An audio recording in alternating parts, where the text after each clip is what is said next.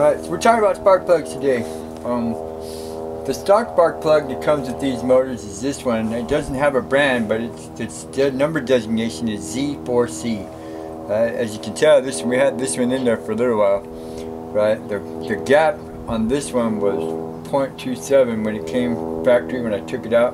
I replaced it with the recommended NGK B5HS, which is a harder plug, and this one is recommended according to a lot of the forum guys that I've read to be gapped at 0.24. That's where it's gapped at now. Um, I'm going to walk through the stuff that you need to change the spark plug and re-gap it, clean it. Right, right now what you need is you need the spark plug wrench, you need a tool to turn the wrench, you need a small bristle brush to clean it with, and you need a gapping tool. This one is an Autolite.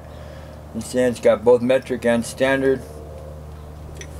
First step you want to do here is you want to take off your spark plug wire. You want to be careful because there's a spring inside that you can separate from the wire and you can mess the whole thing up. So you want to be firm but smooth when you're pulling it off. Next step is spark plug wrench on top. You're going to line me up where you can get a good, you know, get a good through there. Lefty loosey, righty tighty, remember? You want to break her loose and then spin it out with your fingers rest of the way. That way you save yourself from tearing up the threads.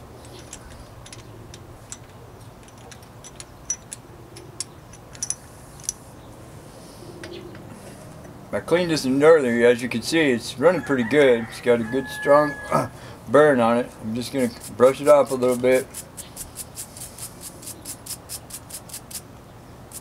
Get all the carbon buildup off. Gap looks pretty good, but I'm going to check it anyway. Like I said earlier, I have this one gapped at 0.24, right? So starting from the smallest, which is 0.20 on this Autolite gauge, you just slide her in and you just twist her around until until it doesn't want to slide anymore. This one's at right there, 0.24, Yep, that's pretty good. I'm saying so. After you get it clean, you got readjusted. Then you want to take your rag and you want to make sure that you don't have any debris or anything that's going to fall in the hole. Right? Mess up the spark, you understand? Or worse, burn a hole in the top of your Chinese piston here. When you thread it back in, you want to do it by hand. You want to make sure that you line it up, screw it right in. If it doesn't go, then you don't have it on the right line. Screw it all the way in. Until the washer makes contact with the cylinder head. Right there. Snug fit. Put your tool back on. Make sure you got a good line. That was a quarter turn right there. Look inside, make sure your spring and everything is still in good shape. It's not separated. Slide her in, snap it on. That's how you change and replug your gap. Now, there's a couple other things I want to talk about here in regards to your spark plugs. Right? Now, a lot of manufacturers have a heat range for spark plugs that run between 1 and 10, or like NGK, the one that I've switched to, theirs is between 2 and 11. Now, the lower the number, the harder the spark plug. The higher the number, the colder the spark plug. Now, this 5B, this B5HS NGK is a little bit on the harder side. It's a little harder than the start plug.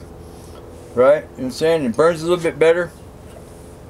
But you don't want to get a plug that's too hot because if you get a plug that's too hot, then you, you're going to have debris on the bottom of the electrode and all that stuff is going to splinter the spark and you're going to lose a lot of spark. You're not going to have a lot of energy coming out of your power. You know, you got a lot of energy coming out here, but it's not going to be getting here. It's not going to run good.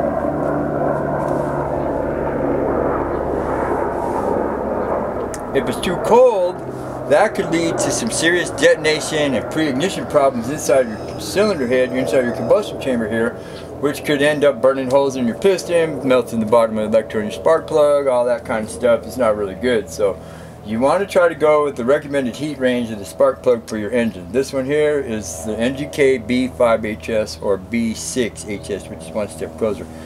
Um, another thing I wanted to talk about, you know, Sam, was fuel economy.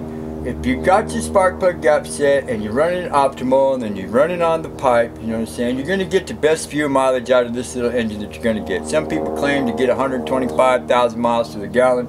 You know what, we've been running this thing now here for about a month. It's got 100 or so miles on it, a few hours.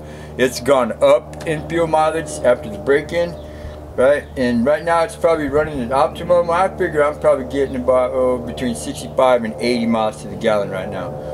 That's simply because I spend a lot of time maintaining this thing, keeping it clean, running it, keeping the filter clean, running good gas in it. I showed you earlier in a different video how to mix the fuel right. Saying? Keeping everything up to date. Saying? It all starts right here with the spark plug. If you got a bad spark plug, a dirty spark plug, or a fouled out spark plug, it's not going to run. It's going to run like crap. You can get terrible mileage, and that's all there is to it. Right? If you like what I'm saying, please subscribe. Thank you.